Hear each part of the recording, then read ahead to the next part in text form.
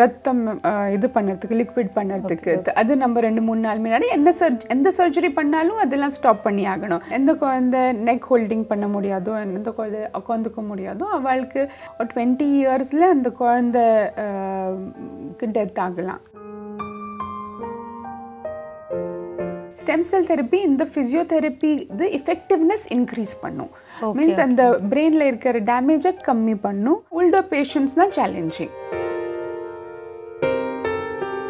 நம்ம என்ன பண்ணுறோமோ பார்த்து இப்போ வெளிநாட்கெல்லாம் அவ ஆக்சுவலி காப்பி பண்ணிட்டு இருக்கா இன்ஸ்பிரேஷன் எடுத்துட்டு இருக்கா யங் பேஷண்ட்ஸில் இப்போ நிறைய ஸ்ட்ரோக் ஆகுது. ஒரு எயிட்டீன் டுவெண்ட்டி டுவெண்ட்டி ஃபைவ் இயர்ஸ்லேயும் நம்மளுக்கு தெரியுது.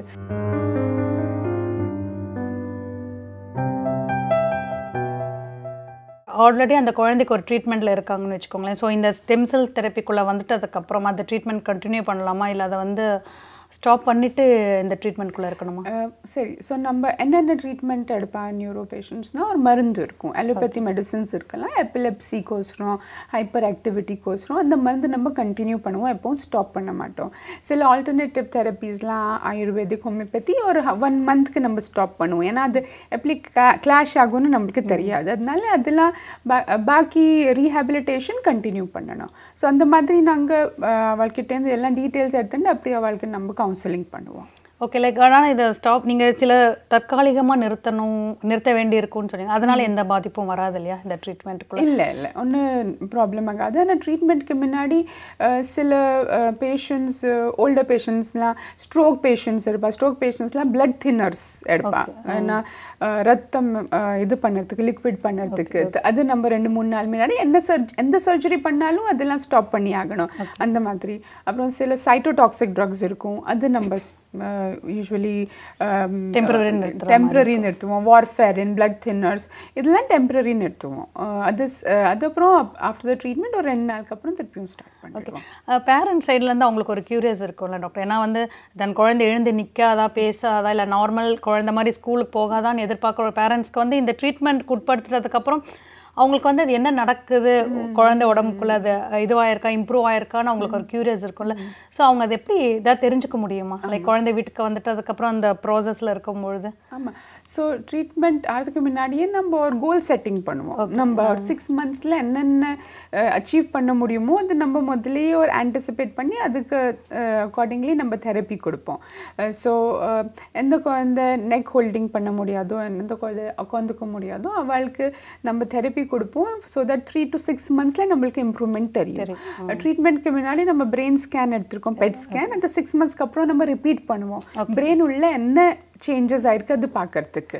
ஸோ ஒரு சிக்ஸ் மந்த்ஸ் அட்லீஸ்ட் ஒரு சிக்ஸ் மந்த்ஸ் ஆகும் இம்ப்ரூவ்மெண்ட் நம்மளுக்கு தெரியறதுக்கு தெரியும் ஓகே ஒரு இது இதெல்லாம் சின்ன குழந்தைங்களுக்கு இப்போ ஒரு வளர்ந்த குழந்தைன்னு வச்சுக்கோங்களேன் ஒரு எட்டு வயது குழந்தை ஒரு பத்து பன்னெண்டு வயது குழந்தைங்களுக்கு அவங்களாம் என்ன மாதிரி ஃபேஸ் பண்ணுறாங்க டாக்டர் ஐ மீன் என்ன நியூரோ ப்ராப்ளம்ஸ் ஃபேஸ் பண்ணுறாங்க இல்லை நிறைய இந்த நம்ம ஆட்டிசம் பார்த்தாலும் நம்மளுக்கு ஒரு டூ த்ரீ இயர்ஸ்ல தான் நம்மளுக்கு தெரியும்.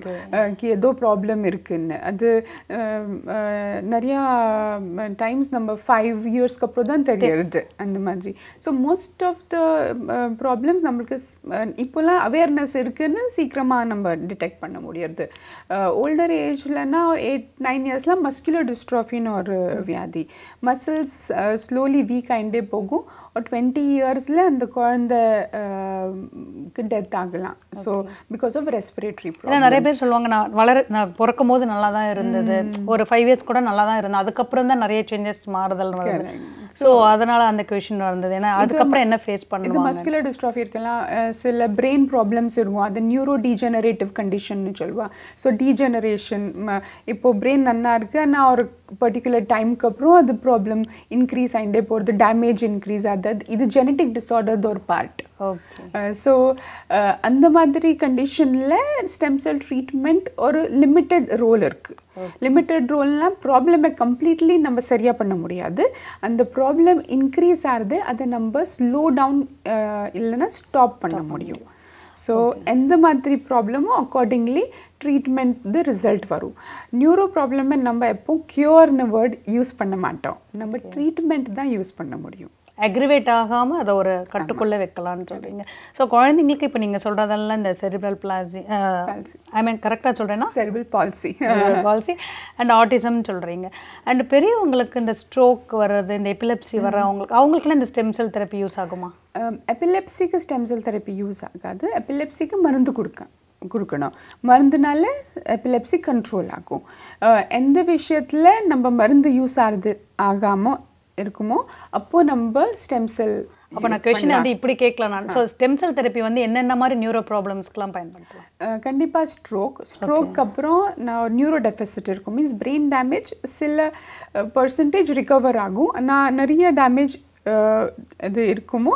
அதனால் கை கால்லாம் பேரலைஸ் ஆகிடும் அப்போது ஸ்டெம் செல் யூஸ் பண்ணலாம். ஸ்பைனல் கார்ட் இன்ஜுரி ஆக்சிடென்ட்ஸ்னால injury ஸ்பைனுக்கு neck down waist down paralyse ஆகிடுவா brain damage because of head injury அப்போது இல்லைன்னா டிபர்குலோசஸ் ஸ்பைன் அப்புறம் மஸ்குலர் டிஸ்ட்ராஃபின் அடல்ட்ஸ் இவாளுக்கெல்லாம் ஸ்டெம் செல் தெரப்பி நல்லாவே யூஸ் ஆகும். அது எப்படி ப்ராக்ரஸ் டாக்டர் இப்போ இதுக்கு வந்து uh, நியூரோ ப்ராப்ளம் வந்து க்யூர்ன்ற வார்த்தை யூஸ் பண்ண மாட்டோம் கண்ட்ரோல் இந்த மாதிரி ஸ்ட்ரோக்கு இந்த பிரெயின் டேமேஜ் ஆக்சிடென்ட் இதுக்கெல்லாம் சொல்கிறீங்க அது எப்படி? அதுக்கு அதுக்கு க்யூர் இருக்கா? அதுக்கும் இம்ப்ரூவ்மெண்ட் தான் ஆகும். இம்ப்ரூவ்மெண்ட் ஆகும். எப்படின்னா stroke patients and spinal cord இன்ஜுரிக்கு இப்போ சத்யா நம்ம பார்த்தா வெறும் ஃபிசியோதெரப்பி தான் இருக்குது ஃபிசியோதெரப்பி பண்ணி எவ்வளோ முடியுமோ அவ்வளோ ஆக்டிவிட்டி நம்ம இன்க்ரீஸ் பண்ணுவோம். ஸ்டெம் செல் தெரப்பி இந்த ஃபிசியோதெரப்பி இது எஃபெக்டிவ்னஸ் இன்க்ரீஸ் பண்ணும். மீன்ஸ் அந்த பிரெயினில் இருக்கிற டேமேஜை கம்மி பண்ணும். இன்ஆக்டிவ் ஏரியாஸை ஆக்டிவேட் பண்ணலாம்.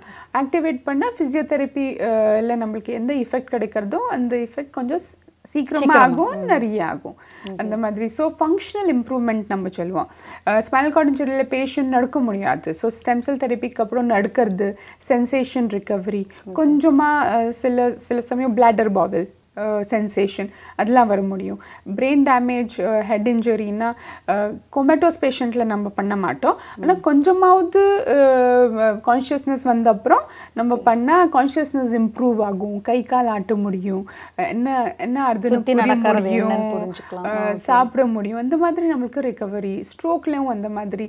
யங் பேஷண்ட்ஸில் இப்போ நிறைய ஸ்ட்ரோக் ஆகுது. ஒரு எயிட்டீன் டுவெண்ட்டி டுவெண்ட்டி ஃபைவ் இயர்ஸ்லேயும் நம்மளுக்கு தெரியுது இந்த patients in fact stem cell தெரப்பிக்கோசரம் ரொம்ப நல்ல கேண்டிடேட் ஸோ அவங்க இம்ப்ரூவ் பண்ணிக்கலாம் இல்லையா?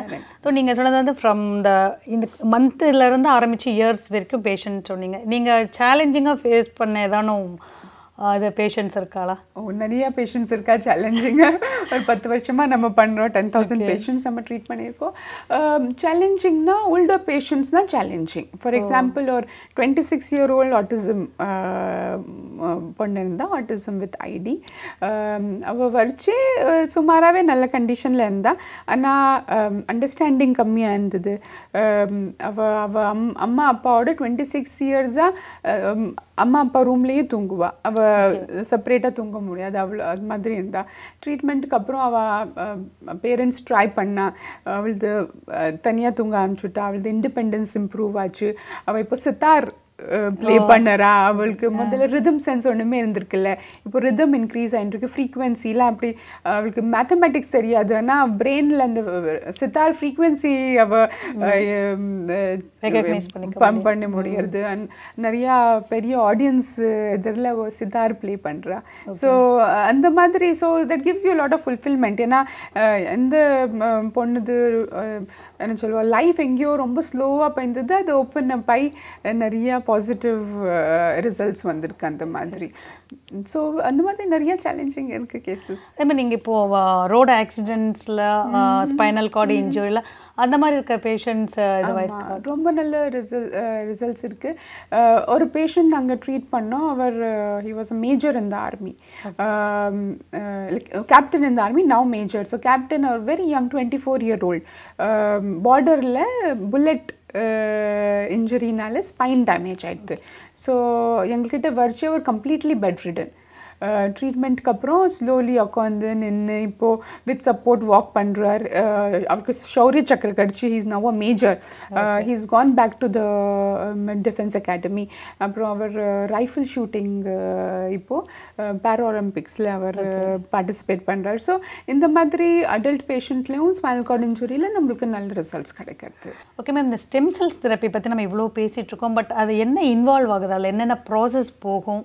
அதோட ப்ரொசீஜர்ஸ் என்னவாக இருக்கும் மேம் அதை பற்றி கொஞ்சம். ப்ரொசீஜர் uh, uh, வித விதமான ப்ரொசீஜர் யூஸ் பண்ணுவேன் எங்கள் இன்ஸ்டிடியூட்டில் நம்ம வெரி சிம்பிள் ப்ரொசீஜர் யூஸ் பண்ணுறோம் ஹிப் போன்லேருந்து ஒரு நீடில் போட்டு போன் மேரோ எடுத்துப்போம். அது ஒரு டென் மினிட்ஸ் ப்ரொசீஜர் அதுக்கப்புறம் லெபார்டரியில் ஸ்டெம் செல் செப்பரேஷன் ஆகும். அது ஒரு four to six hours procedure அது செல்ஸ் ஒரு வாட்டி ரெடி ஆச்சுன்னா நம்ம ஸ்பைனல் ஃப்ளூயிடில் ஒரு இன்ஜெக்ஷன் மூலியமாக ஸ்டெம் செல்ஸ் டிரான்ஸ்பிளான்ட் பண்ணிடுவோம் அது ஒரு டென் மினிட்ஸ் ப்ரொசீஜர் ஸோ பெரிய ஆப்ரேஷன் இல்லை கட் இல்லை ஸ்டிச்சஸ் இல்லை லைஃப்க்கு ஒன்று டேஞ்சர் இல்லை அதனால ரொம்ப சிம்பிள் ப்ரொசீஜர் ஆனால் நம்ம ரொம்ப ஈஸிலி பிரெயின் வரைக்கும் அந்த செல்ஸ் நம்ம டிரான்ஸ்பிளான்ட் பண்ண முடியும் without causing any major problem major problem and ma'am இந்த ஃபீல்ட் வந்து இது என்ன எங்களுக்கு புதுசு? ரொம்பவே இது இந்த ஸ்டெம் செல்ஸ் தெரப்பிங்கிறது வந்து ரொம்பவே புதுசு.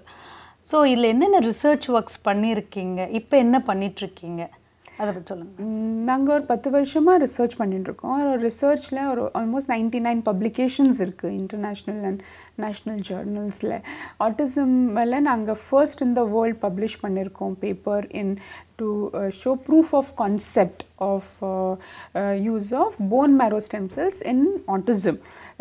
Two thousand தேர்ட்டீனில் அந்த பேப்பர் நாங்கள் பப்ளிஷ் பண்ணோம்.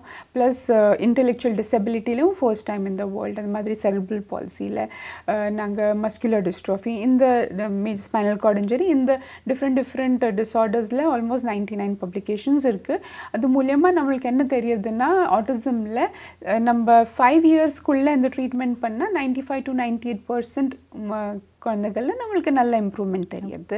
செர்பிள் பாலிசியில் ஆல்மோஸ்ட் நைன்ட்டி பர்சன்ட் நம்மளுக்கு ரிசல்ட் தெரியுது. அந்த மாதிரி ஸ்பைனல் கார்ட் இன்ஜிலையும் நைன்ட்டி பர்சன்ட் ஆனால் சில கண்டிஷன்ஸ் இருக்குது மோட்டோ நியூரான் டிசீஸ் அது ரொம்ப ஃபாஸ்ட் ப்ரோக்ரெசிவ் கண்டிஷன் அதில் ஃபிஃப்டி பர்சன்ட் தான் ரிசல்ட் அந்த மாதிரி muscular டிஸ்ட்ராஃபியில் eighty to ninety percent result இருக்குது அந்த மாதிரி டவுன் சின்ரோம்லேயும் நம்ம ட்ரீட்மெண்ட் பண்ணுவோம். ஸோ குழந்தைகளில் நம்மளுக்கு நல்ல ரிசல்ட் தெரியுது. ரொம்ப நியூரோ டீஜெனரேட்டிவ் கண்டிஷன்ஸ் ரொம்ப ஃபாஸ்ட் ப்ரோக்ரெசிவ் கண்டிஷன்ஸில் ரிசல்ட் கொஞ்சம் கம்மியாக இருக்குது இந்த ஒன்லி திங் நீங்கள் சொன்ன மாதிரி எவ்வளோ ஸ்பீடாக நம்ம இதை தெரிஞ்சுட்டு நம்ம இதை ஸ்டெப் எடுக்கிறோமோ அவ்வளோ ப்ரோக்ரஸ் இருக்குன்றீங்க. மேம் இந்த துறை வந்து உங்களை வந்து எப்படி ஈர்த்தது? லைக் எல்லாருமே டாக்டர்ஸ் அந்த இதில் எல்லாருமே ஸ்பெஷலைஸ் பண்ணிகிட்ருக்கோம் இந்த ஸ்டெம் செல்ஸ் தெரப்பின்ற இந்த புது கான்செப்ட் இது வந்து உங்களை எப்படி ஈர்த்தது? நீங்கள் எப்படி இந்த ஜேர்னிக்குள்ளே ஸோ என் பேக்ரவுண்ட்னா நான் எம்பிபிஎஸ் எம்டி என் பர்த் ஆச்சு ஒரு ரெவல்யூஷனரி இடம் சேவாகிராம்னு ஒரு இடம் historical importance Gandhiji ashram so ஒரு ஐ திங்க் ஒரு பிளட்டில் ஒரு வேறு வித்தியாசமாக ஏதாவது பண்ணணும்னு இருந்தது எம்பிபிஎஸ் எம்டி பண்ண அப்புறம் ஒரு ஃபோர் இயர்ஸ் ரிசர்ச் பண்ணேன் in Tata Institute of Fundamental Research அது மும்பையில் ஒரு ப்ரீமியர் இன்ஸ்டிடியூட் அங்கே நம்ம பிரெயின் டெவலப்மெண்ட் அண்ட் ஸ்டெம் செல்ஸில் ரிசர்ச் பண்ணோம். அப்போது இன்ட்ரெஸ்ட் வந்தது. முதல்ல இன்ட்ரெஸ்ட் வந்ததுன்னா ஸ்பைனல் கார்டு இன்ஜுரியில் எப்படி நம்ம ஸ்டெம் செல்ஸ் யூஸ் பண்ணலாம் அப்படின்னு நிறையா ரிசர்ச் நாங்கள் படித்தோம் அப்போது இன்ட்ரெஸ்ட் வந்தது ஒரு நியூரோ சர்ஜன் இருக்கார் பாம்பேயில் is a head of one of the biggest corporation hospital அவர் அவர் அந்த இதில் வேலை பண்ணியிருந்தார். ஸோ அவரோட நான் ஜாயின் ஆகி லாஸ்ட் டென் இயர்ஸாக நாங்கள் இந்த வேலை பண்ணிட்டுருக்கோம். எங்கள் வேலைனா வெறும் ட்ரீட்மெண்ட் இல்லை ரிசர்ச்சும் பண்ணுறோம். Plus lot of awareness activities அவேர்னஸ்னால் இதை பற்றி ஒரு ஹோப் ஒரு பாசிட்டிவிட்டி எல்லாருக்கும் ஒரு சேர்க்கணும். சின்ன சின்ன ஊர்லெல்லாம் போய் நாங்கள் ஒர்க் ஷாப்ஸும் கேம்ப்ஸ் பண்ணுறோம். ஸோ தட் யாருக்கு இதை பற்றி தெரியாதோ அவளுக்கு கொஞ்சம் ஈவன் நியூராலஜிக்கல் கண்டிஷன்ஸ் நம்ம ட்ரீட் பண்ண முடியும். அப்படின்னு ஒரு மெசேஜ் எல்லாருக்கும் கொடுக்கறது தான் எங்களது மிஷன் மேம் நிறைய ரிசர்ச் ஒர்க்ஸ் எவனா பேப்பர் பப்ளிஷ் பண்ணுங்க எல்லாமே நம்ம பேசிட்டோம். இன்னொரு முக்கியமான கேள்வி மேம் நம்மளுடைய இந்தியாவுக்கும் இந்த ஸ்டெம் செல்ஸ் தெரப்பி வெளிநாட்டுக்கும் என்ன டிஃப்ரென்ஸ் மேம் இன்ஃபேக்ட் நம்ம மெடிக்கல் சயின்ஸில் பார்த்தா மோஸ்ட் ஆஃப் த ட்ரீட்மெண்ட் நம்ம வெளிநாட்டில் என்ன அது பார்த்துட்டு நம்ம ஃபாலோ பண்ணுறோம். For a change stem cell research India and south east ஏஷியாவில் ஜாஸ்தி ப்ரோக்ரெஸ் ஆகிருக்கு நிறைய ப்ரோக்ரெஸ் ஆகிருக்கு நம்ம என்ன பண்ணுறோமோ பார்த்து இப்போ வெளிநாட்கெல்லாம் அவ ஆக்சுவலி காப்பி பண்ணிட்டு இருக்கா இன்ஸ்பிரேஷன் எடுத்துட்டு இருக்கா ஸோ ஆமாம் இது ஒரு பெரிய விஷயம். நம்ம மேக் இன் இந்தியா கேம்பெயினில் இது ஒரு ஒரு பாசிட்டிவ் இம்பேக்ட் ஸோ நிறைய ரிசர்ச் ஆல் ஓவர் இந்தியா ஆயின்ட்டுருக்கு ஜப்பானில் கொரியாவில் சைனா இந்தியா தான் more progress as compared to US and Europe also so அது ரொம்ப something to be proud of அப்படின்னு சொல்லலாம். ரொம்ப இந்த ஒரு கேள்வி கேட்கலன்னா அது முழுமையாக அடையாது. பட் இது காஸ்ட் ட்ரீட்மெண்ட் வந்து எப்படி அஃபோர்டபிலிட்டி மேம் ஏன்னா இது வந்து ஒரு காஸ்ட்லியான ட்ரீட்மெண்ட் இது வசதி இருக்கவங்க மட்டும்தான் இதை அஃபோர்ட் பண்ண முடியுன்ற மாதிரி ஒரு தாட் வந்துடக்கூடாது. ஸோ இந்த கொஷனுக்கு நான் ரெண்டு பார்ட்டில் ஆன்சர் கொடுப்பேன். ஒரு ஒன்றுன்னா வெளிநாட்டில் இது காஸ்ட் ஆல்ரெ ஆல்மோஸ்ட் ஒரு ஃபிஃப்டீன் லேக்ஸ் ஒரு பதினஞ்சு லட்சம் ரூபாய் இருக்கும். இந்தியாவில் ஒரு ரெண்டு ரெண்டு மூணு லட்சத்தில் நம்ம இந்த ட்ரீட்மெண்ட் நம்மளுக்கு கிடைக்கும். எது எந்த ட்ரீட்மெண்ட் புதுசாக ஆரம்பித்தாலும் நம்மளுக்கு தெரியும் அது ஸ்டார்டிங்கில் காஸ்ட் ஜாஸ்தியாக இருக்கும். ஏன்னா பைபாஸ் பார்த்தோன்னா ஒரு ரெண்டு மூணு லட்சம் வரைக்கும் இருக்கும். நீ ரீப்ளேஸ்மெண்ட் ஒரு two two and half lakhs வரைக்கும் போகிறது அது மாதிரி இது நம்ம பிரெயின் டேமேஜ் ரிப்பேர் பண்ணுறோம் ஸோ டெஃபினெட்லி கொஞ்சம் ட்ரீட்மெண்ட் கொஞ்சம் எக்ஸ்பென்சிவாக இருக்கும். Two two and half lakhs for general population ஆனால் சோஷியல் ஒர்க் டிபார்ட்மெண்ட் இருக்குது எங்கள் இன்ஸ்டிடியூட்டில் அந்த டிபார்ட்மெண்ட்னால் பிலோ பவர்ட்டி லைன் பேஷண்ட்ஸ் யார் பேஷண்ட்ஸ் அன்அஃபோர்டபிள் இருக்கோ அவளுக்கோசரம் ஹெல்ப் பண்ணுவாள் நாங்களும் கன்செஷன் கொடுப்போம்.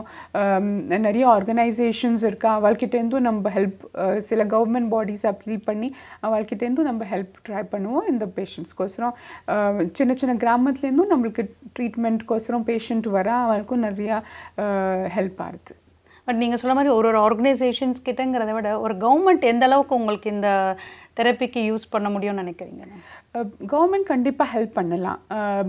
சில கவர்மெண்ட் ஹெல்ப்பும் பண்ணுது.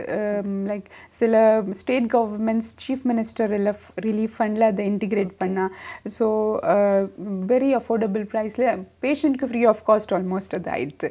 அந்த மாதிரி நேஷ்னல் லெவலில் கவர்மெண்ட் ஸ்கீம்ஸில் டிசபிலிட்டி செக்டருக்கோசரம் இந்த ட்ரீட்மெண்ட் அக்செப்டபிள் ஆச்சுன்னா நிறைய நிறைய பேஷண்ட்ஸ்க்கு இது அடுத்த helpful-ஆ குழந்தைங்களுக்கு. நிறைய ரொம்ப ஹெல்ப்ஃபுல்லாக இருக்கும். ஸோ டெஃபினெட்லி ஒரு அப்பீல் இருக்கு த்ரூ த மீடியம் ஹிந்து கி டிசபிலிட்டிக்கோசரம் கொஞ்சம் இந்த செக்டர் ஏன்னா டிசபிலிட்டி செக்டர் ரொம்ப um, um, என்ன சொல்ல சப்போர்ட்டட் இன் சர்டன் வேஸ் ஆனால் மெடிக்கல் ட்ரீட்மெண்ட்க்கோசரம் ரொம்ப கம்மியாக சப்போர்ட் இருக்குது ஸோ இந்த சப்போர்ட் கொஞ்சம் வந்ததுன்னா ரொம்ப நல்லாயிருக்கும் இல்லை நீங்கள் சொன்னதான் ரொம்பவே உண்மை மேம் ஏன்னா எவ்வளோ சயின்ஸ் அட்வான்ஸாக இருந்தாலும் எவ்வளோ டெக்னாலஜி இம்ப்ரூவாக இருந்தாலும் அதை பற்றி என்ன விஷயன்றது முழுதாக ஒரு புரிதல் வந்தால் தான் அதை நம்ம யூஸ் பண்ணிக்கவே முடியும்.